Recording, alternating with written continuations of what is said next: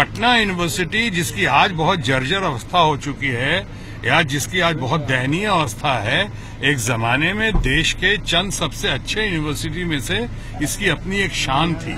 एक इसकी मान्यता थी पटना यूनिवर्सिटी का। अब आज ये हालत हो गई है तो पैरामीटर्स की कमी ज़रूर हो सकती है। केंद्रीय विद्यालय का दर्जा लोग उम्मीद कर रहे थे कि हमारे माननीय प्रधानमंत्री इसकी घोषणा करेंगे, और हमारे बिहार के चहेते मुख्यमंत्री मुखिया हमारे नीतीश कुमार जी ने इसकी मांग भी रखी थी। और जो हम सबों को लगा कि अगर मान लो केंद्रीय विश्वविद्यालय का दर्जा ना भी मिला तो ये ज़रूर कहा जाएगा कि हम इसके पैरामीटर्स को ठीक करते हैं। जिन जिन स्तंभ पे जिन जिन मापदंडों पे यूनिवर्सिटी को खड़ा उतरना चाहिए, हम उन मापदंडों को मापदंडों को मज़बूत करेंगे और इनको दर्जा दिलाने की कम से कम अवश्य कोशिश करेंगे। अवश्य मिलना चाहिए, लेकिन ज़रूरी है उसके पहले कुछ उसके मापदंड होते हैं, कुछ पैमाने होते हैं। उन पैमानों को ठीक करना नितांत आवश्यक है, जैसे कि शिक्षकों की कहीं कमी, बहुत कमी। जैसे कि टीचर्स और शिक्षकों का, टीचर्स और स्टूडेंट्स का, छात्रों का जो रेशियो होना चाहिए, वो रेशियो ठीक होना चाहिए। किसी किसी डिपार्टमेंट में जितने पद खाली हैं, उसके बदले आधे से भी कम शिक्षक हैं। हिंदी में तो सुना है एक, एक शिक्षक है। साइंस कॉलेज में अंग्रेज़ी में दो शिक्षक हैं। ऐसे में नहीं होता है लेकिन होना चाहिए क्योंकि पटना यूनिवर्सिटी ने देश में एक से एक जैसे हमारे माननीय प्रधानमंत्री ने कहा सही कहा था देश के एक से एक विद्वानों को यहाँ का सौभाग्य मिला है। पटना यूनिवर्सिटी से चाहे भारत के गृह सचिव हों कि हेल्थ मिनिस्टर हों कि आप यशवंत सिन्हा जी हों, कि बड़े बड़े लोग हों, एक से एक प्रोफेसर एक से एक साइंटिस्ट यहाँ से निकले हैं, या एक से एक प्रोफेशनल भी मालूम नहीं कितने निकले भाई शत्रुघ्न सिन्हा भी यहीं से निकले हैं। लेकिन ये अलग बात है कि हमें आमंत्रित नहीं किया गया, उसके लिए मुझे कोई खेद नहीं है, गुस्सा नहीं है, लेकिन अफसोस ज़रूर है कि बुलाते तो अच्छा होता, आपकी थोड़ा शोभा बढ़ती, वरना कई लोग ये भी कह रहे हैं कि शताब्दी समारोह किस लिए मनाया गया भाई? इतना खर्चा किया प्रधानमंत्री के बुलाने में, आने जाने में, उससे ज़्यादा तो यहाँ यूनिवर्सिटी की हालत, उस, उतने में तो यूनिवर्सिटी की हालत और बेहतर हो सकती थी।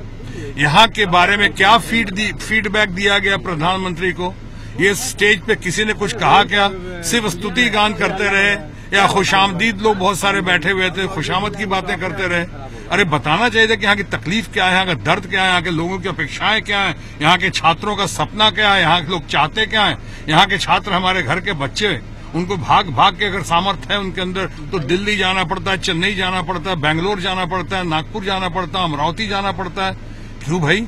हमारे बिहार की अपनी शिक्षा प्रणाली, उसको क्या हो गया, किसकी नज़र लग गई है, क्यों ये स्तर दिन पर दिन गिरता जा रहा है?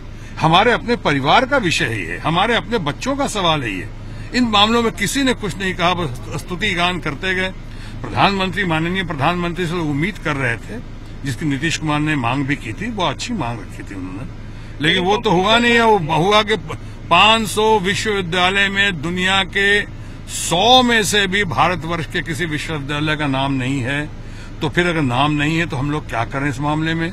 उसके बाद कहा कि 500 करोड़ रुपया एक विश्वविद्यालय को, यानी दस हज़ार रूपया बीस विश्वविद्यालयों को बांटेंगे प्रतिस्पर्धा के दौड़ पे। उनको आगे ले आएँगे, जिसमें कि लोग, दस होंगे सरकारी और दस विश्वविद्यालय होंगे प्राइवेट। अब दस प्राइवेट होंगे तो लोग कहते हैं, प्राइवेट को तो हर तरह की आप छूट दे ही रहे हैं। उसके बाद उनको पाँच पाँच सौ करोड़ रुपए और मिलेंगे। कई लोग सवाल उठाते हैं। बहरहाल, पटना यूनिवर्सिटी, जिसका शताब्दी समारोह मनाया जा रहा वहाँ पे जो लोग आते हैं, यहाँ के अगर वाइस चांसलर या बाकी लोग होते हैं, ज़्यादातर लोग तो क्वालिफिकेशन के आधार पे आते नहीं है। ज़्यादातर लोग आते हैं जुगाड़ के आधार पे। उनके किसी से सोर्स जो को बोलते हैं, बिहार में सोर्स लग गया तो हो गया टीचर भी बन गया प्रिंसिपल भी बन गया कई बार। और वाइस चांसलर भी। इन सब बातों को इनकी जानकारी देनी चाहिए थी, इसका दर्द समझना चाहिए। जब तक कारण का आप पता नहीं लगाएँगे, तब तक निवारण नहीं हो सकता। निवारण से पहले कारण को समझना अति आवश्यक है।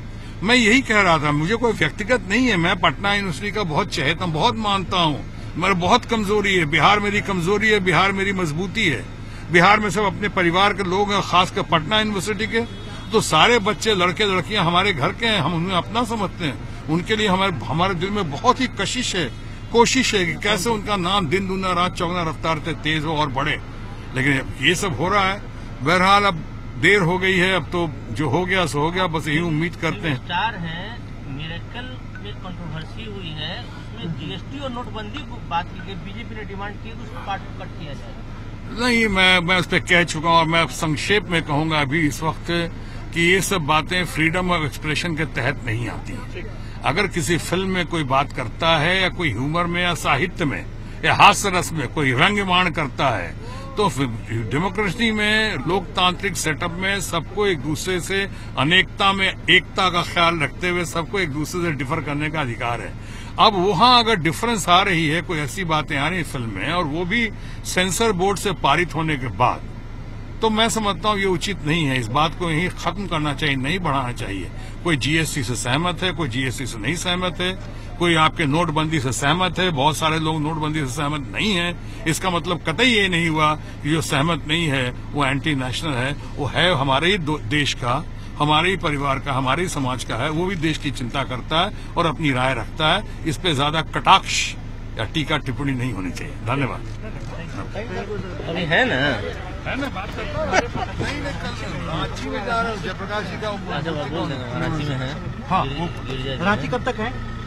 अभी एक एक दिन में फिर मैं नेक्स्ट वीक में आ रहा हूँ।